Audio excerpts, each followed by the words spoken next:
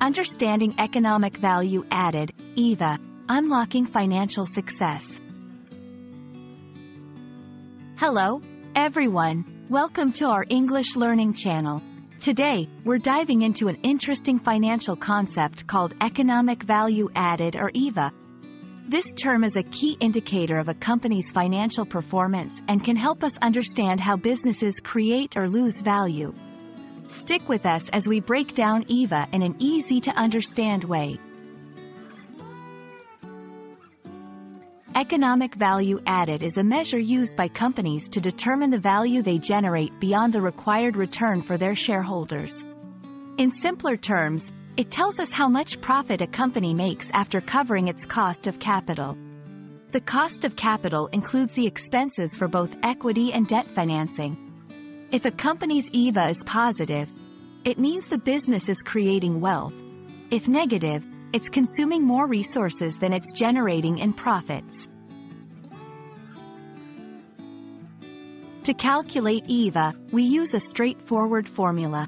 EVA equals net operating profit after taxes, NOPAT, capital invested asterisk cost of capital. NOPAT is the company's earnings derived from its operations after taxes but before financing costs and non-cash bookkeeping entries. Capital invested refers to the total money invested in the company. Cost of capital is the rate of return that could have been earned by putting the same money into a different investment with equal risk. Understanding this calculation helps investors and managers assess how effectively a company is using its resources to generate profits. The beauty of EVA lies in its ability to provide a clear picture of financial health and operational efficiency. It encourages managers to focus on long-term wealth creation rather than short-term profits. By emphasizing sustainable growth, EVA aligns the interests of the company with those of its shareholders. It's a powerful tool for making informed business decisions, from evaluating potential investments to improving operational practices. Thank you for joining us today as we explored economic value added.